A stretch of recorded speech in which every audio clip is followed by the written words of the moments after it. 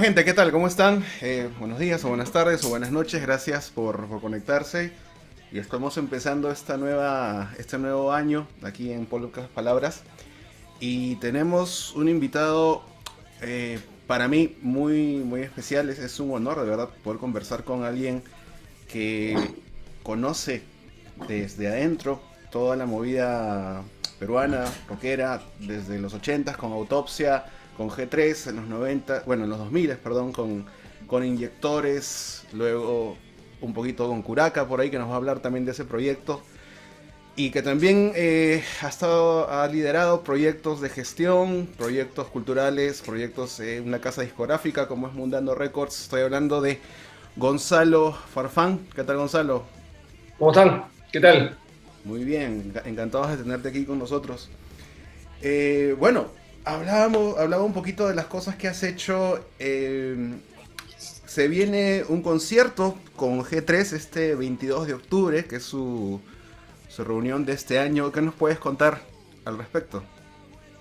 Sí, bueno, como ya mucha gente sabe, G3 es un proyecto, G3 pasó de ser una banda que se había separado en el año 2000, sin intenciones de volver, digamos, no sabíamos qué iba a pasar después.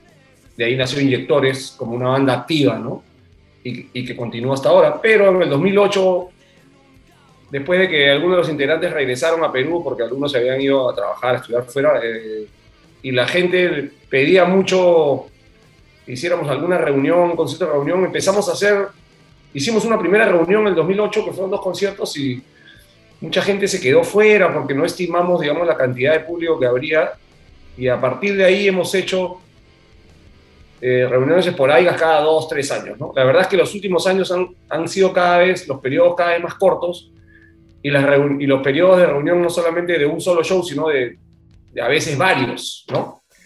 Eh, eso no está entre nuestros planes porque si bien es cierto, la banda ahora de nuevo es una banda activa, no tiene, no tiene una actividad constante, sino lo que acordamos entre los miembros fue como que eh, tocar de, de, vez en, de vez en cuando para, para no saturarnos nosotros ni al público, ¿no? ¿No? En, ese, en, en, en, esa coyuntura, digamos, en, ese, ese, aspecto, eh, este año estamos haciendo una, una, reunión, que no es una reunión propia, es un show organizado por otra productora el 22 de octubre, pero que el concepto nos gustó empata un poco con lo que siempre hemos estado buscando nosotros, que es este, mantener un poco el espíritu que tenía la banda y, la escena en la que se movía la banda entre los 80s y los 90s. ¿no? Entonces, este, el cartel con leucemia y que en paz descanse Carreño, ¿verdad?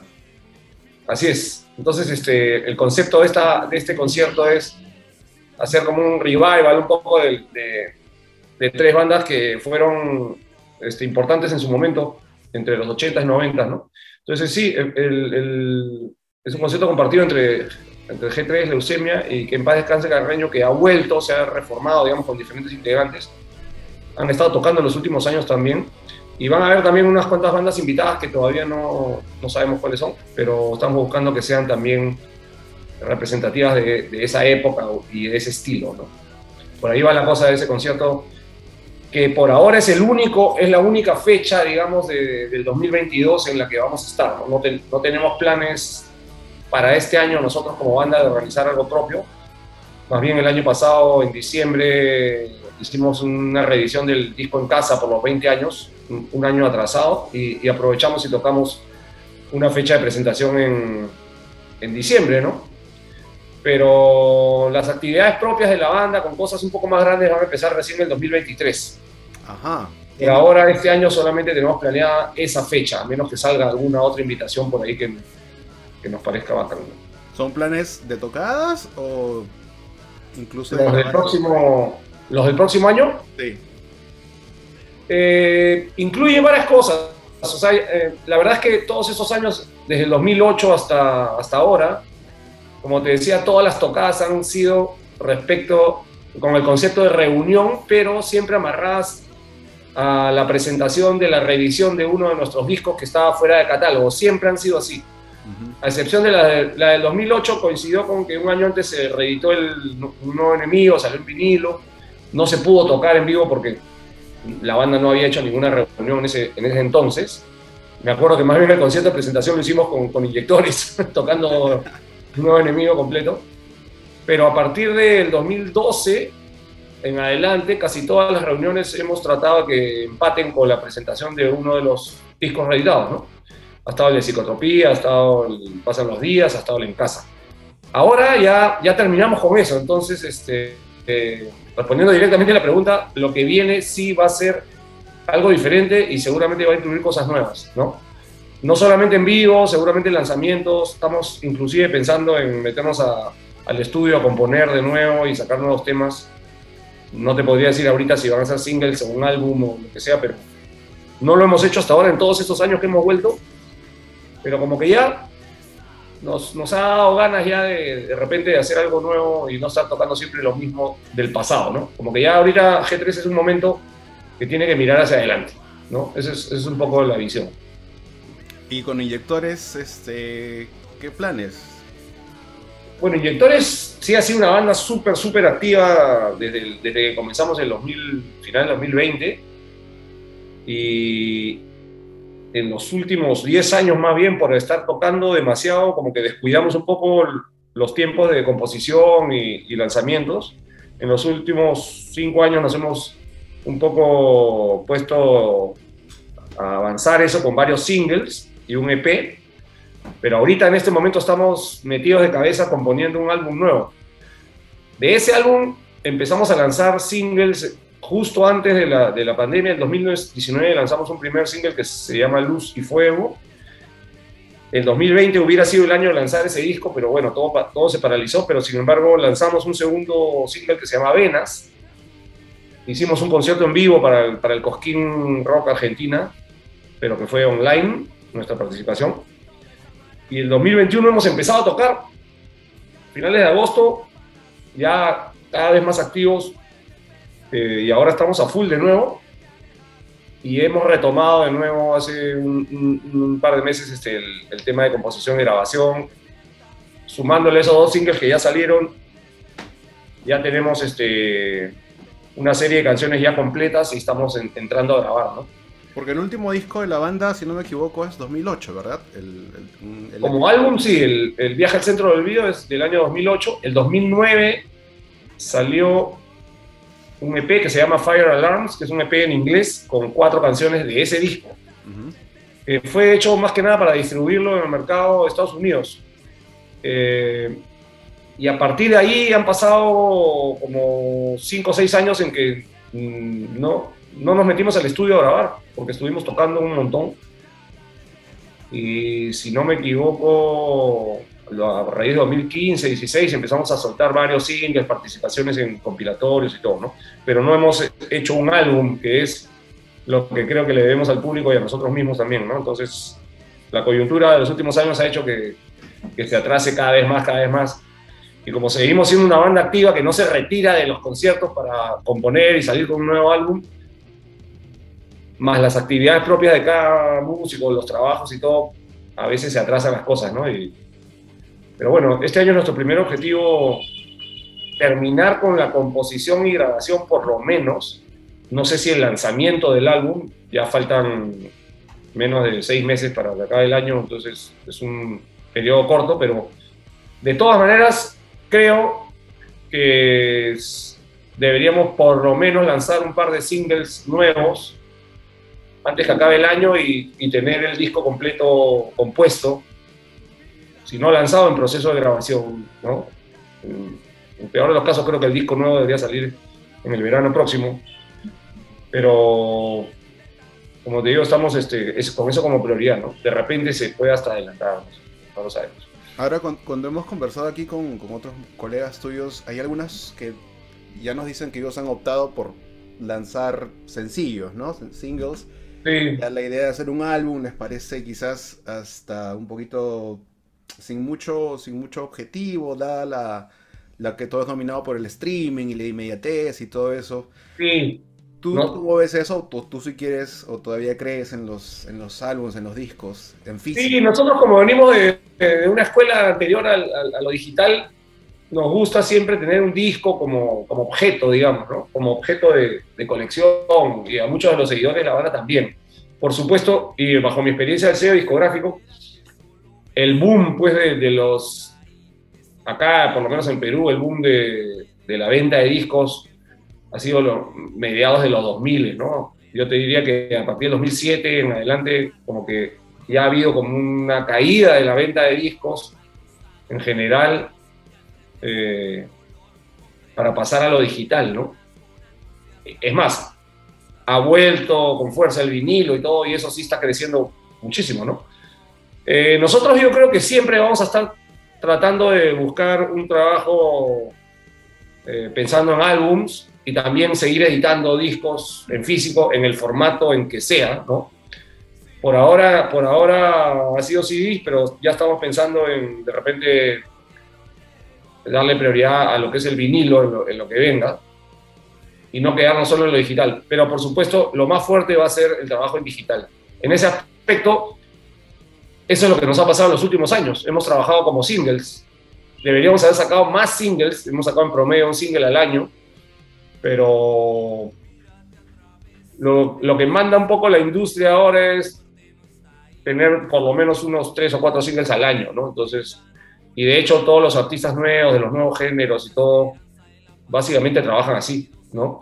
Eh, es verdad eso que cuando uno saca un disco de 10, 12 temas o más, la gente se queda con 4 o 5 o 3, ¿no? Y no, y no más, no, nunca escuchan todo, nunca se escucha, y eso lo puedes medir en las plataformas digitales, ¿no?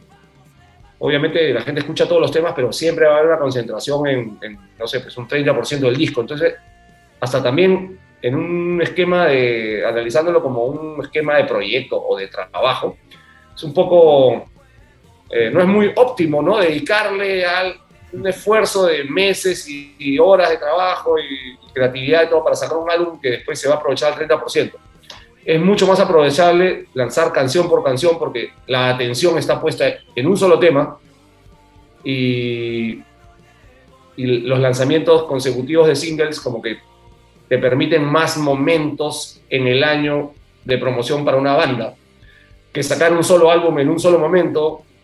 En el Perú, la industria, la escena mm, no es muy activa, pues, como en otros lados, y la promoción de un álbum decae también al mes, dos meses, tres meses, ya está, tu trabajo se olvidó, ¿no? Entonces, este, la técnica o la estrategia de sacar single tras single tiene sus ventajas de, promoción y mantenerte como con novedades, ¿no? Entonces, puedes concentrarte ahí en eso y darle toda tu atención. Sí, yo creo que desde el lado de inyectores vamos a combinar, vamos a seguir combinando eso, ¿no? mantenernos con singles por un lado y tratar de, siempre publicar álbumes cada cierto tiempo. Ahora, tú que, bueno, tienes la experiencia como músico, pero también en, Mundano Records, antes eh, se hablaba mucho pues del poco apoyo de las radios, se hablaba mucho de la piratería, que ahora, bueno, con las plataformas digitales ya la radio no tiene, creo, el poder que tenía antes, la convocatoria que tenía antes. Eh, ya los discos también la, inmediatez de lo digital es lo que domina. Y sin embargo, la, la escena siempre has tenido pues estos, estas intermitencias, ¿no? Entonces ya no le podemos echar la culpa quizás a la difusión radial ni a la piratería. Entonces, tú más o menos cómo ves, cómo ves eso? ¿Qué, ¿Qué, es lo que nos falta como para que esto se consolide de una buena vez? O sea, siempre nos ha faltado algo porque es natural, ¿no? Pero ha, ha habido pues este ha habido un crecimiento en la escena de rock nacional, por supuesto, ha tenido picos. Yo, yo desde mi punto de, desde el punto en el que yo trabajo y las experiencias que he tenido, que por supuesto no son completas ni, ni iguales ni mayores a las de otros, o sea, cada uno tiene su espectro donde se mueve, digamos, pero mi experiencia como músico y como, y como productor fonográfico, digamos, y hasta como promotor con, con, con, este, con el sello discográfico y con agencias de, trabajo con bandas y todo. Yo creo que definitivamente la escena rock nacional, hablando de los 80 hacia adelante, ha tenido picos, ¿no? De subidas y bajadas, subidas y bajadas, que corresponden con, por supuesto, con los cambios tecnológicos también. Y como tú has dicho, la radio es lo que no ha cambiado, ¿no? O sea, en general los medios de difusión, inclusive visto desde la publicidad, ha habido una migración desde los medios tradicionales hacia, hacia lo digital totalmente, ¿no? Yo he estado también en, la industria publicitaria y, y de contenidos y, y, este, al comienzo, no sé, pues los expertos decían, no, eso nunca va a pasar, ¿no? La televisión nunca va, va a ser, va a perder espacio, la radio nunca va a perder espacio, y ya, ya lo perdieron, ¿no? O sea, eh, los medios digitales tal vez sea lo más fuerte ahora, no quiere decir que lo otro no funcione, pero se van abriendo nuevas tecnologías, nuevos medios y, y, se va distribuyendo la atención por ahí, ¿no? O sea, un chico de 14, 12, 15 años de repente este, no ve pues televisión abierta, ¿no? Consume contenidos así a, a, a pedido, ¿no? Este, cosas muy específicas. Eh, eh, TikTok de repente es lo, es lo, que lo mueve y, no tiene ni Facebook, ¿no? Entonces, depende mucho de qué, a qué segmento del público te estés dirigiendo y qué tipo de banda eres, ¿no? O sea, si eres una banda de trap, por ejemplo, o de reggaetón, de repente te, conviene moverte en TikTok, pues, ¿no? Si eres una banda de rock clásico, de repente te conviene salir en doble nueve, ¿no? Eh, o, si eres una banda de los 80 te van a repetir hasta el cansancio en, las radios tradicionales como Oasis y las demás, ¿no? Entonces, eh, eh, yo creo que está todo separado, muy atomizado, como se dice, ¿no? Ese yo creo que es un error. Eh, no soy experto en radio ni nada por el estilo, pero me parece que ahí primero hay que partir que la radio es un negocio, obvio. Esa cuestión de que la radio no apoya no es totalmente cierta, porque la radio es un negocio, como la televisión también es un negocio. Entonces, desde la perspectiva de los empresarios, no van a querer arriesgar. Pero ahí también hay un, hay un error. El que no, el que no dinamiza una categoría, como se dice en el marketing o en la economía, el que no dinamiza una categoría y no la hace moverse, por ejemplo, el rock hay interés en Perú, muy poquito, sí, pero hay interés. Ok, vamos a vamos a meterle fuego ahí para que crezca, ¿no? Como marqueteros podrían decir, mira, hay, un segmento de interés, podemos hacer que crezca y lo cultivan, ¿no? ¿Cómo lo cultivan? Con, con, programas de rock nacional, y tienen espacio como cancha, ¿no? o sea, mm, y lo han hecho, ¿no? Lo han hecho, pero siempre esos programas salen y mueren, salen y mueren, y han sido muy buenos programas, ¿no? Ayer justo con Gabriel regresamos al ensayo y decíamos, él, me decía, pucha, estoy escuchando por radio unas estaciones de radio de España. Y, los, y los, di, los di cómo saben de música, porque te hablan de una banda, de, bandas del exterior, ¿no?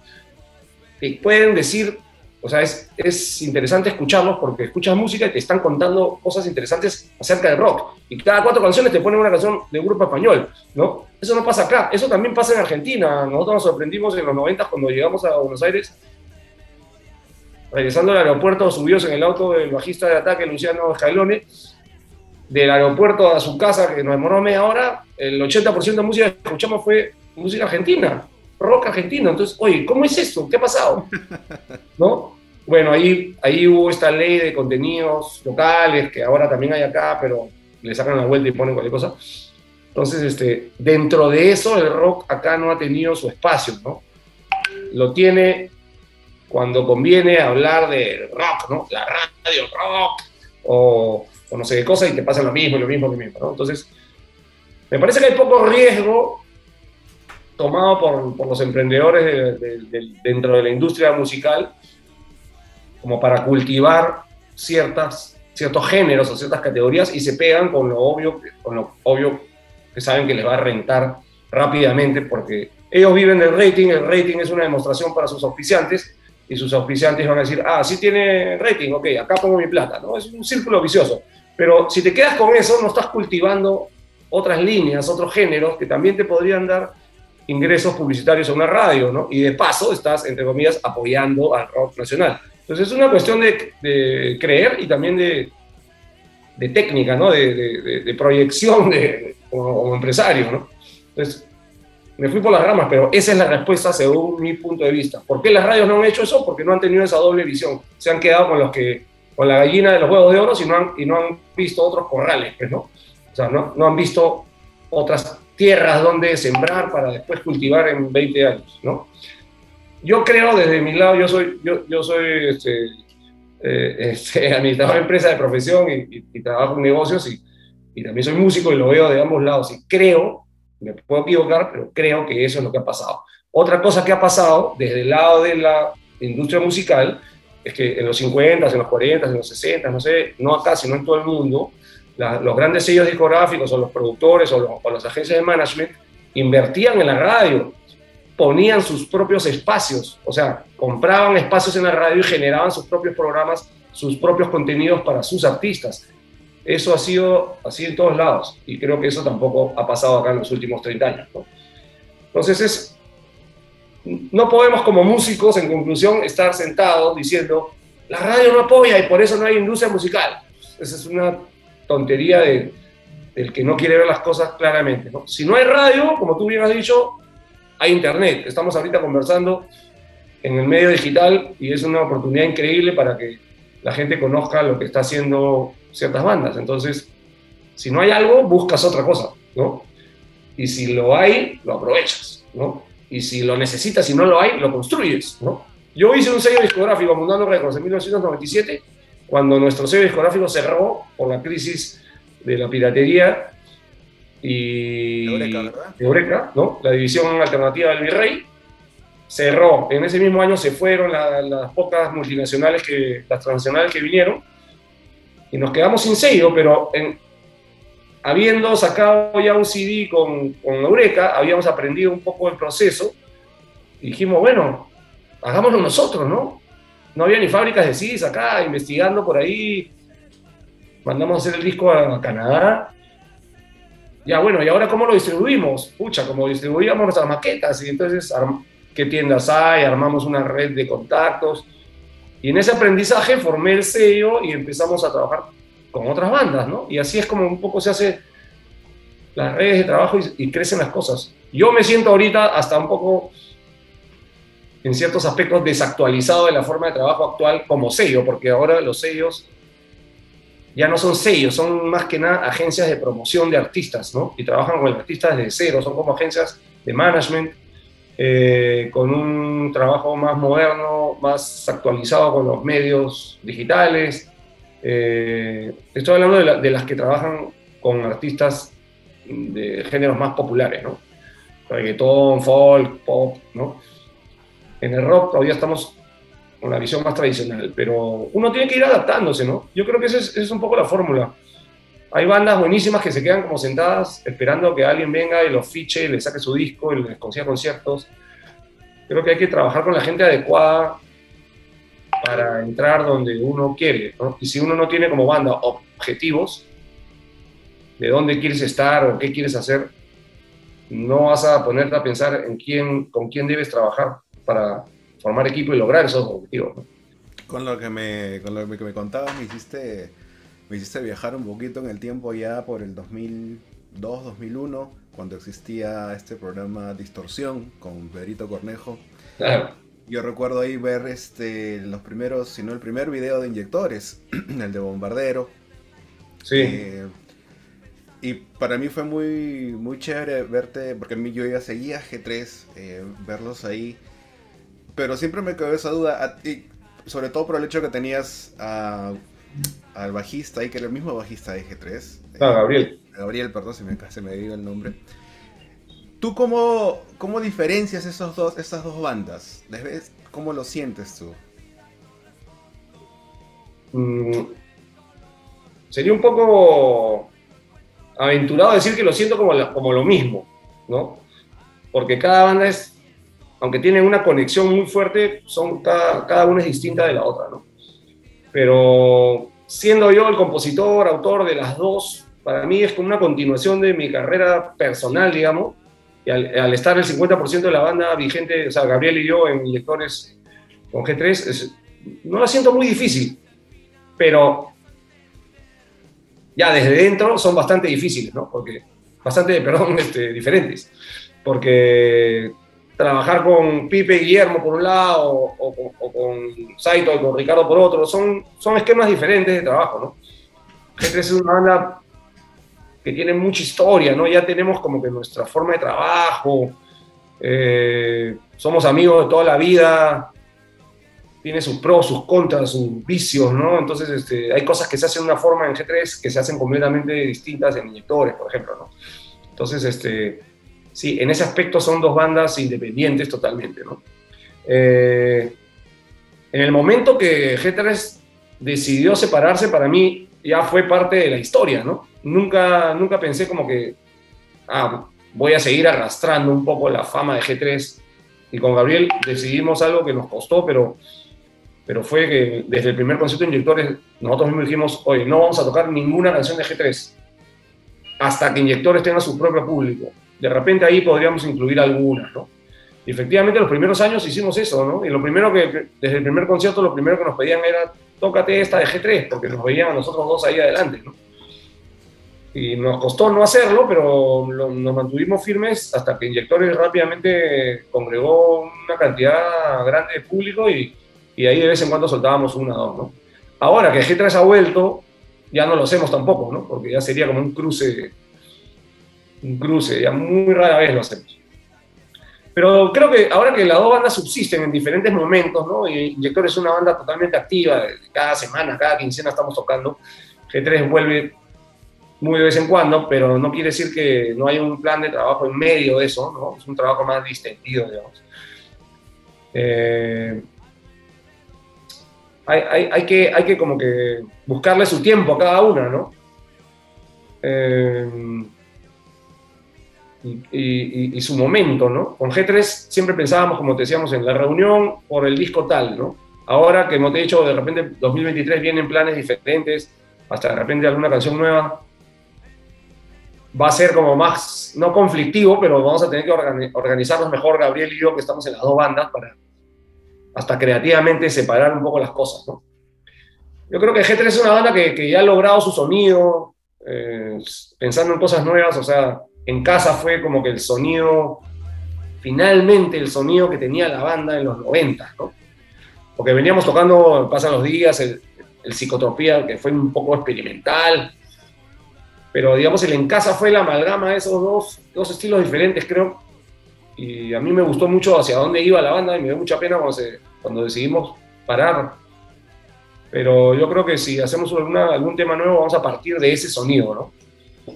Que no es un sonido, o sea, G3 es como que, no sé, no, quiero sonar así a, creído, pero podría ser como el padre del hardcore acá en Lima, ¿no? En Perú, entonces, pero el En Casa no es un disco hardcore, ¿no? Es un disco más de punk rock. Entonces, este, por ahí creo que si hiciéramos algo nuevo, partiríamos de, ahí, ¿no? Ahora mencionabas cuando, cuando pararon con G3, perdón, uno de tus proyectos del que la gente no quizás no conoce mucho es Beat Sudaka, ¿verdad? Donde estuviste con José Javier Castro del aire, ¿verdad? También estuvo, bueno, estuvo Guillermo también de, G3. Estuvo Guillermo de G3, estaba Luchín Aro de, la banda Feudales, y Carlos Augusto Chávez. Chaveta. Sí, Chaveta, que esa fue esa fue su primera banda. Y eh, no, era, éramos los, los cinco, éramos los, la base del grupo, ¿no? Y alrededor de, de los arreglos, o sea, percusiones y teclados, eh, pasaron varias personas que sí, fueron parte integral del grupo. Bueno, eh, finalmente Sergio Rilos era el tecladista, ¿no? Pero en las percusiones ha, estado Cheo Ayumbrosio, ha estado hasta el mismo Pelo Madueño en algún concierto. Está este, Julio Sánchez Concha en los timbales. eso también fue pasar de tocar hardcore con G3 a tocar un rock fusión con aires medio latinos, o completamente latinos. Eh, fue una cosa locaza, ¿no? Para mí fue un aprendizaje también. Pero, felizmente yo he escuchado rock de todo tipo, entonces este, las referencias estaban ahí, ¿no? Y cada uno aportaba lo suyo, o sea, era una fusión entre nosotros también, ¿no? Cada uno venía de un estilo diferente de rock, salía una, una amalgama bien loca ahí. Eso, eso fue una banda experimental, ¿no? Duró un par de años y dejamos algunos demos por ahí, un par de singles grabados. Nos hemos vuelto a reunir en, en los últimos 10 años, algunas veces, hemos hecho dos conciertos, me parece. Por supuesto, la banda sonaba muchísimo mejor ahora, pero también siendo cinco o seis músicos, cada uno con su historia y, y su camino, digamos, fue recontra difícil llevar el proyecto adelante, ¿no? Porque la banda sonaba increíble, pero ya teníamos eh, puntos que no resolvíamos, como que cómo vamos a trabajar esto, cuándo, qué sacamos, qué no sacamos, y varias veces nos hemos quedado en el camino con eso. Y ya finalmente creo que ahí va a quedar nomás la banda para la historia. Háblame un poquito de Curaca, el supergrupo. Curaca es una especie de Beat Sudaka. Este, mira, suena parecido. ¿no? Curaca nació así también, ¿no? Un día estábamos en la, me acuerdo perfectamente, el año eh, 2008, estábamos en la noche de Barranco, un día X, había, uh, era cumpleaños de los hermanos Marambio, ¿no? De Alec y, y Noel, y estábamos ahí entre varios amigos de músicos de, la escena, que ya éramos amigos de, de, mucho tiempo, y me encuentro con, uno de ellos era Giorgio Bertoli, ¿no? Este, él tocaba en Zen, era amigo, amigo mío, ya de tiempo, él había estado en La Raza, estaba por ahí Paco Holguín de Emergency Blanket, estaba Martín Tuesta de Masacre, estaba yo, y yo, yo siempre me decía desde, desde, desde antes, oye, algún día tenemos que hacer una banda tú y yo juntos, que no sé qué vaina, sí, sí, en algún momento. Y bueno, ese día estábamos ahí todos juntos y en algún momento estábamos los cuatro que te he mencionado, ¿no? Giorgio, yo, Martín y Paco, con una chela en la mano así en un círculo y, y, y dijimos, oye, acá está la banda, ¿no? acá estás, somos los cuatro. Y así de, de, inmediato fue como que, ya, hagámoslo, sí, ok. Y ahí pasaron unos meses hasta que realmente nos juntáramos. Pero cuando nos juntamos fue como una química increíble y, y compusimos el primer disco, Fuego Negro. Esto fue, si no me equivoco, ya mediados o finales del 2008 y como que en el 2009 nos pusimos a trabajar. Y en tres meses compusimos el, un disco entero en, en, en, mi departamento, así, entre Giorgio, eh, Paco y yo. ¿No? Entre Paco y yo componíamos y Giorgio nos a, acompañaba con, con, una guía telefónica, me acuerdo de un par de baquetas para, para sacarlo, más o menos los tiempos, así, los arreglos. Y, y, empezamos a grabar y un año después, lanzamos, unos meses después, que ya en el 2010, lanzamos el disco pues, por Mundano Records, este, El Fuego Negro. Es un disco, pucha, que ha tenido una aceptación increíble, o sea, eh, no en ventas, pero sí en, pero sí en fanatismo, ¿no? Hasta ahora, hace unos días me decían, ¡ay, qué bueno, qué bueno! Que hemos tocado justo hace, el domingo pasado, ¿no? Me decían, qué bueno es ese disco, la gente todavía lo busca y todo. Entonces, Curaca también tiene su propio, su propio ritmo, su propio tiempo de trabajo, ¿no? Nos hemos pasado años sin hacer mucho, otros muy activos, pero últimamente, y bueno, desde el 2014 la formación cambió. Paco salió de la banda, se retiró porque tenía mucho trabajo con Emergency Blanket entró La Roja, guitarrista de Gaia, y poco tiempo después Miguel también se retiró para trabajar con Masacre una nueva etapa, y entró Marcel de Estado de Sitio, y a partir del 2014, bueno, entró, en la voz entró JP Pesquera de, de Serial Asesino, y bueno, esa es, la, esa es la formación hasta ahora, ¿no? Los cinco, y desde ahí hemos trabajado bastante parejo, eh, sacamos unos cuantos singles, después sacamos un EP en el 2017 que se llama El Abismo. Y ahí nos guardamos un poco y la pandemia nos, nos, nos hizo, aunque estábamos súper comunicados y todo, porque somos bien amigos, este, no, no trabajamos nada esos dos años.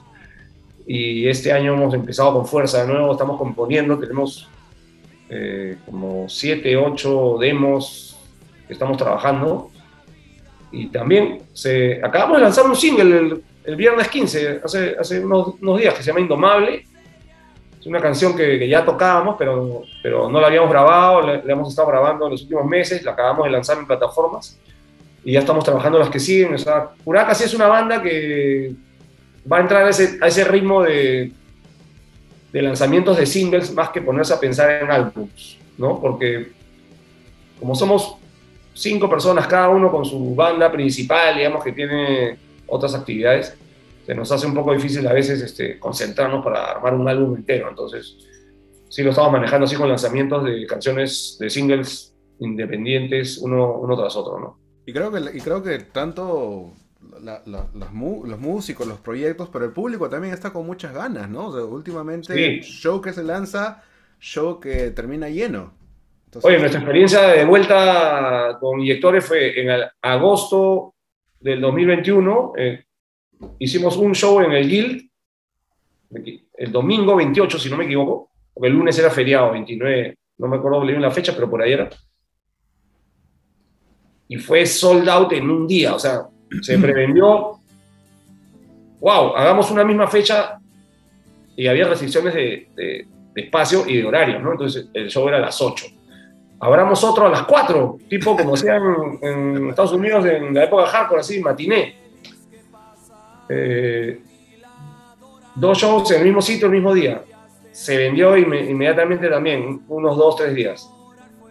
Y abrimos un tercer concierto el lunes a las 6 de la tarde que también se vendió. Entonces imagínate, tres shows de inyectores en dos días, en el mismo lugar. O sea, la gente estaba con unas ganas de ver a, la banda o ver, bandas y, eso ha ido creciendo, ¿no? conforme se han ido abriendo las restricciones que ahora ya no las hay en cuanto a cantidad de aforos, no sé. Eh, ya, la, ya la gente está acudiendo este, a los conciertos como antes, ¿no? Sí, sí, sí. Yo imagino que tu formación como administrador es lo que te ha ayudado a ti a, entrarnos allá a esta parte de la industria, ¿no? Toda la parte administrativa, valga la redundancia. Eh, ¿Qué tan importante es eso? ¿Siempre es necesario que haya en una banda alguien que tenga esa visión, que tenga ese panorama, o al menos, o al menos las ganas de, de contactar, de tener alguien en tu equipo que tenga esa visión? o se le dejamos todo al manager? Sea, yo creo que es definitivo y la respuesta es la que toca decir. Justamente, una banda necesita un manager, o sea, un gerente. Es como una, una, banda tiene que ser, aunque suene horrible, tiene que ser vista como una empresa, porque tiene que ser organizada, tiene que ser planificada, tiene que ser bien ejecutada y tiene que ser controlada, ¿no? Esos son los principios básicos de la, de la gestión, ¿no? Entonces, eh, si no tienes un plan, unos objetivos, no sabes cómo organizarte para cumplir esos objetivos, no sabes cómo ejecutar lo que vas a vender, entre comillas, o, mostrar, ¿no? No sabes cómo evaluar si te salió bien o no y tomar las correcciones necesarias, etc. ¿no? Entonces, yo estudié administración de empresas, siempre trabajé en, en, grandes empresas desde el lado, pero desde dentro del lado creativo, ¿no? Desde la creación y lanzamiento de productos o reingenierías de procesos, ¿no? Eso me ayudó a mí definitivamente desde G3 en, pensar así dentro de la banda, ¿no? Y siempre fui yo el, gestor o el manager, digamos, que, ponía en conjunto con, los demás también, por supuesto, pero el que tenía esa visión un poco de, gerencia o de, management dentro de la banda, ¿no? Eh, con el paso de, los años ya yo separé eso un poco y, siempre hemos tenido managers o bookers que se encargan de la parte de tratos, contrataciones, la parte de logística y todo eso que, que yo ya como artista dentro de la banda no, no debería tener porque es un cruce medio feo, ¿no? Eh, y además que, que, ya no me da el tiempo para hacer eso pero nunca he dejado de lado la parte de visión o, la parte del management de, qué objetivos tiene la banda, cuáles son los planes y todo eso, ¿no? Siempre estoy yo metido dentro de las bandas en que estoy, metido en eso de todas maneras. Básicamente mi experiencia ha sido, mi experiencia profesional ha sido de gestión de proyectos de diferentes tipos, siempre creativos, en diferentes industrias. He estado en la banca, en la industria editorial, en la industria discográfica, en la industria publicitaria, en la industria de contenidos. Eh, en las comunicaciones. Eh, ahora estoy tratando de, desde mi lado profesional, meterme de lleno a la, gestión cultural, especialmente a la musical, pero también he trabajado en, en gestión de marketing o, o comunicaciones de teatro, de cine. Entonces, antes yo veía como mi profesión, ¿no? Con la que tenía que yo trabajar para vivir, digamos, y la música, dos cosas separadas. Después de 30 años me he dado cuenta que nunca estuvieron separadas, ¿no? Una estaba alimentando a la otra. Y, viceversa, lo que yo aprendí en, en la banda, como autogestión o buscar recursos o formas nuevas de hacerlo, créeme que lo he aplicado en cosas hasta corporativas, o sea, ideas que nacen de, lo artesanal, digamos. ¿no? O sea, ha sido una cosa ida y vuelta, pero yo no me he dado cuenta de eso hasta mucho tiempo después, ¿no? Y ahora, finalmente, después de muchos, de varias décadas, me he dado cuenta que, era un camino, era un mismo camino, ¿no? Y, y ahora estoy tratando de que mis proyectos de trabajo, digamos, fuera de la música sean lo más culturales posible. Eh, ya lo había iniciado eso con el sello discográfico, que era un paralelo a mi actividad profesional, digamos, pero, pero sí, a mí me gusta la gestión de proyectos eh, y trabajar con las bandas.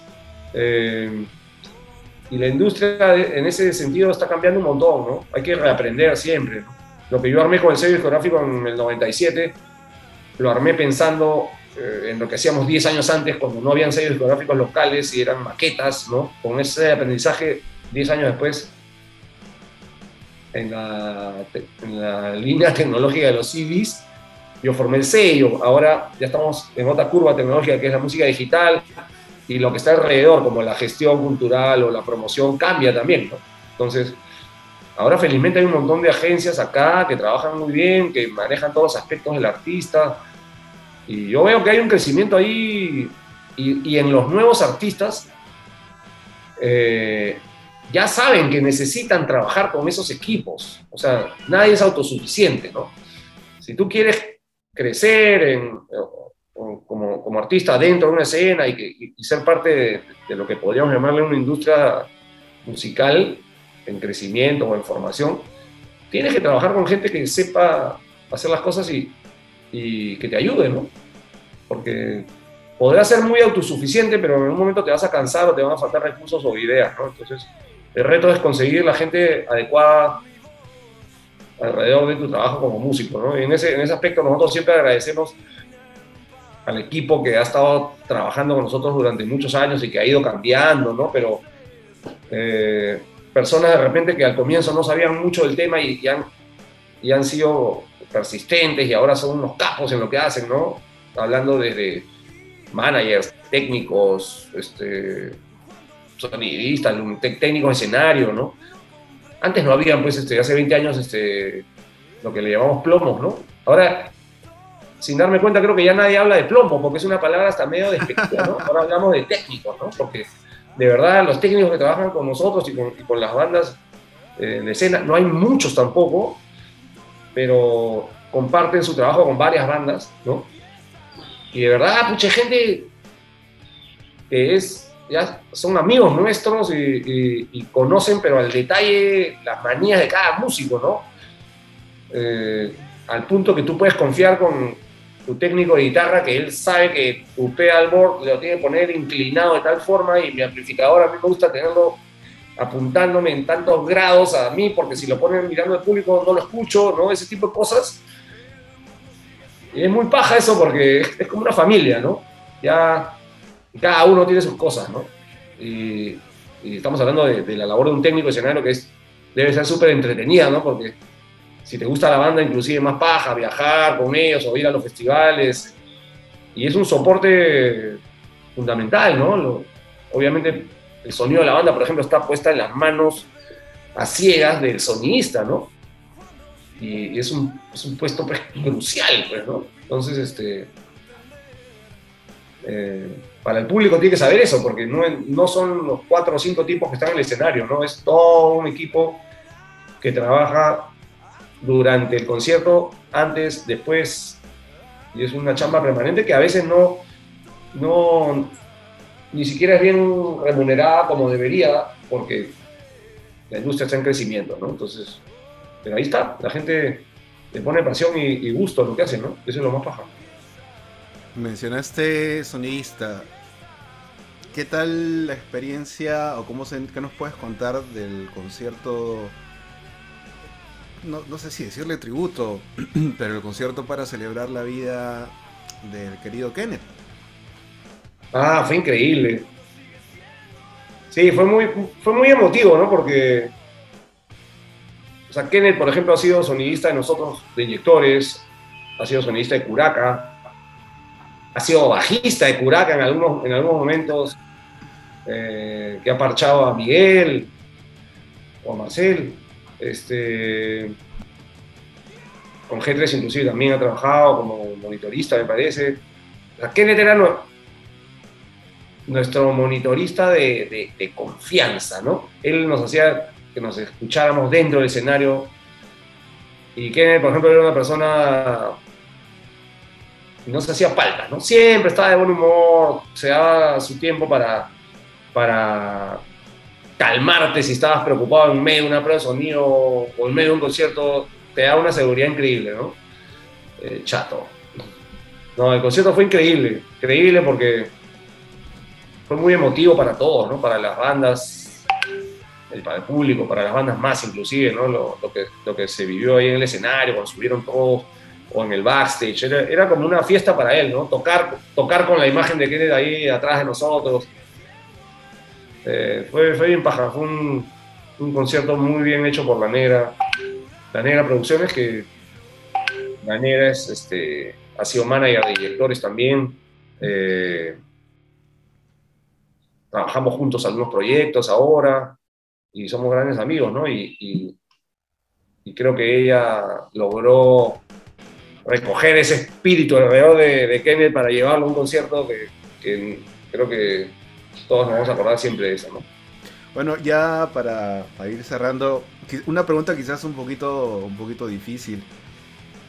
De todas las, las, etapas y los proyectos que has, que has tenido hasta ahora, no con cuál te quedarías, pero cuáles tienes uno que digas, pucha, qué chévere fue esta vaina, algo así que recuerdes y que, que, que, voluntariamente se te dibuje una sonrisa o que siempre le cuentas a alguien como una anécdota, oye, sí, esta parte fue muy, muy paja.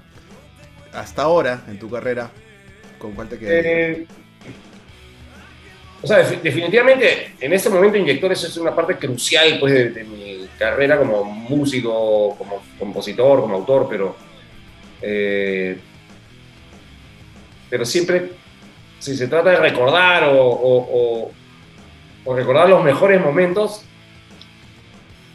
los noventas con G3 fueron sumamente especiales para nosotros, porque veníamos de una década difícil, los 90 fueron como un gran cambio, y para nosotros fue como que empezar a tener un nivel de, de proyección como banda diferente a lo que habíamos tenido antes. Fue como que el primer momento en que sentimos como músicos, oye, la banda está proyectándose a otro lado. Eh, me refiero especialmente a las giras o, las, o, las participaciones que empezamos a tener con, con otros países, especialmente con Argentina. ¿no? que tampoco fueron un montón, básicamente nuestro trabajo con Chile, Argentina. Eh, pero para nosotros esas giras Argentina, llegar a Buenos Aires con un mercado, digamos, musical mucho más grande que el, local, fue, fue, fue, un momento especial, ¿no? Que es, del cual siempre hablamos o, o recordamos porque aprendimos un montón, ¿no? O sea, la, escena, digamos, este, Argentina en ese momento nos llevaba bastantes años de, adelanto, como industria, como radio, lo que te contaba. Y llegamos y aprendimos un montón, ¿no? Y, y dimos, o sea, tuvimos un buen papel también, ¿no?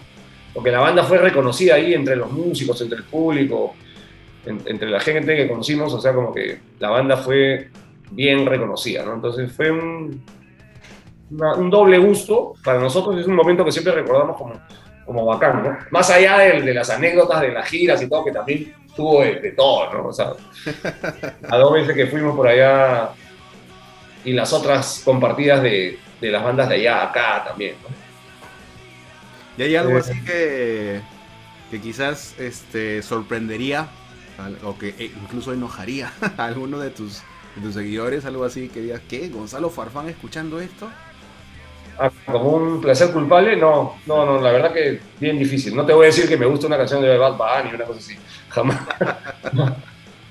No, no porque, no porque, porque crea que es algo malo, sino porque simplemente no, no, no me gusta, ¿no?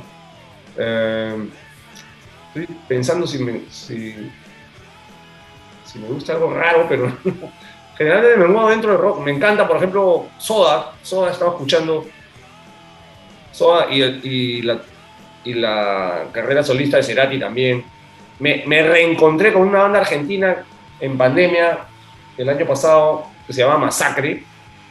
Antes se llamaba Masacre Palestina en los 80s. Una banda de skate rock, ¿no? Y, pero los, los, los, últimos discos, digamos, la etapa actual de la banda es increíble. Me, me pegué con esa banda. Es una banda de rock con, ar, con harto con harto este, contenido raíces punk, ¿no? Eso, eso es algo que estado escuchando nuevamente y he descubierto los nuevos discos. Eruca Sativa también, esta banda, de este trío argentino. Eh, y bueno, por, por, mi chamba de coordinación con otras bandas, este, el año pasado empezamos a, hablar mucho con, con, Roberto, el baterista de 69 Segundos de Ecuador, y, y el Oso, el bajista de, de bebés paranoicos de, de, Chile, ¿no? Somos amigos así a nivel latinoamericano, siempre hablábamos y todo, y empezamos a decir, oye, hagamos una red de otras bandas, ¿no? Y empezamos a armar una cuestión que le pusimos Unión Sin Fronteras y sacamos un, un par de playlists en Spotify con bandas de toda la región, ¿no? Desde el Caribe hasta, hasta Sudamérica. Y ahí también he conocido un montón de bandas latinoamericanas de, alrededor del sonido punk, muy pajas que no sabía que existían. Eh, eso también fue parte, por ejemplo, del, aburrimiento de la pandemia, ¿no? Y que y salió algo productivo, salió un colectivo ahí. Eh, hicimos dos o tres playlists, si no me equivoco, teníamos miras a sacar inclusive compilados, o, era un colectivo como para que entre, las bandas se conozcan entre sí y de ahí puedan generarse otros proyectos, ¿no? Yo, yo he tenido otros proyectos como el disco Tandem con, con 69 segundos, por ejemplo, ¿no? Sacamos un disco, un disco a medias, ¿no? Tres temas cada uno. De ahí ha salido otra idea para hacer un concierto con, con las tres bandas del Pacífico, ¿no? Ecuador, Perú y, y, y Chile, ¿no? Con 69 segundos inyectores y bebés paranoicos en algún momento. Y así han, han habido conexiones, ¿no? Y he conocido nuevas bandas, o sea, he estado escuchando de todo, de todo, la verdad, pero siempre, siempre me vuelvo, vuelvo a lo que siempre me ha gustado desde los ochentas. Para mí la, para mí la época de, de, de si tengo que priorizar algo, para mí los ochentas fue como que no el rock de los ochentas que pasan en la radio limeña, por si acaso. no, pero la música punk, post-punk de los ochentas es como que la, y la pre, pre-punk, ¿no? Finales de los setentas es como que la que más me gusta. Y y alrededor de la que siempre me muevo, ¿no? Y, y, aparte de eso empiezo a descubrir cosas nuevas por ahí, ¿no? Obviamente me gusta un montón el, lo que vino en los 90, el grunge, y de los 2000 menos, pero siempre hay algo que voy descubriendo, ¿no? Pero diría que si me, si me dices qué, qué estaba escuchando, escucha, básicamente lo antiguo. bueno. Bueno, este, Gonzalo, nada. Oye, muchísimas gracias. La verdad que el tiempo se ha pasado este, volando. Y creo que podríamos conversar de cada uno de tus proyectos un programa entero. Ah, sí. Muy, muy Pero ya otro día, si quieres, eh, convocamos a alguno de los integrantes de, de, alguna de las bandas y conversamos específicamente sobre, sobre lo que viene, ¿no? Con inyectores hay mucho, mucho por contar a, a partir de, de, lo que viene, como te decía, con Curaca también, ¿no? Con G3 vamos a ver qué, qué pasa todavía en los siguientes meses que vamos a planear. El 2023 va a ser su momento, creo. Queda, queda entonces la, la, la, promesa. Te tomo sí, la palabra, Gonzalo. Cuando quieran. Muchísimas gracias. Entonces, bueno, gente, no se olviden, este 22 de octubre, G3, el concierto de este año. Se vienen sorpresas también. Y bueno, con inyectores, siempre atentos ahí a, a las redes de la banda, ¿verdad? En Facebook. Y búsquenos en, con inyectores G3 o Curaca. Estamos en Instagram y estamos en Facebook, las, dos, las tres bandas. Eh, nos encuentran con los nombres de las bandas, va a ser fácil y por ahí siempre estamos anunciando lo que estamos y compartiendo lo que estamos haciendo. Gracias, aprovecho para la gente que sigue a, las bandas, los proyectos que tenemos y, siempre están ahí alentándonos. Un, un saludo y abrazo recontra especial, especialmente para la comunidad de seguidores de inyectores que se llaman los bombarderos, que siempre están ahí en, todo, en todos los conciertos, no importa dónde toquemos, siempre están ahí presentes dándonos este, eh, inspiración de la cancha. O sea que, pero ese viernes, eh, se viene en, octubre este concierto con, G3, pero también hay, hay varios con inyectores. El, hay uno muy bueno que va a ser el 24 de septiembre en el Long Tennis, que se llama el Primavera Rock, donde vamos a tocar nuestro set de inyectores como siempre y aparte vamos a hacer un segundo set de inyectores como banda con Ciro Pertusi en la, en, la voz. Viene de Argentina Ciro y va a tocar con inyectores un set completo y vamos a hacer los mejores temas de Ciro, o sea, de, ataque, ¿no? De ataque y algunas versiones por ahí de Jauría. Eso va a ser un mix ahí bien raro, pero bien paja, ¿no? Bueno, qué paja. Bueno, gente, la invitación está hecha, así que no se lo pierdan. 24 de septiembre. Pajísima. Bueno, nada, nuevamente, muchas gracias y estamos coordinando para, para hablar un poquito más ahí de, la, de música y todos proyectos. Cuando quieran. Gracias a todos. Un abrazo. Chao. Abrazos.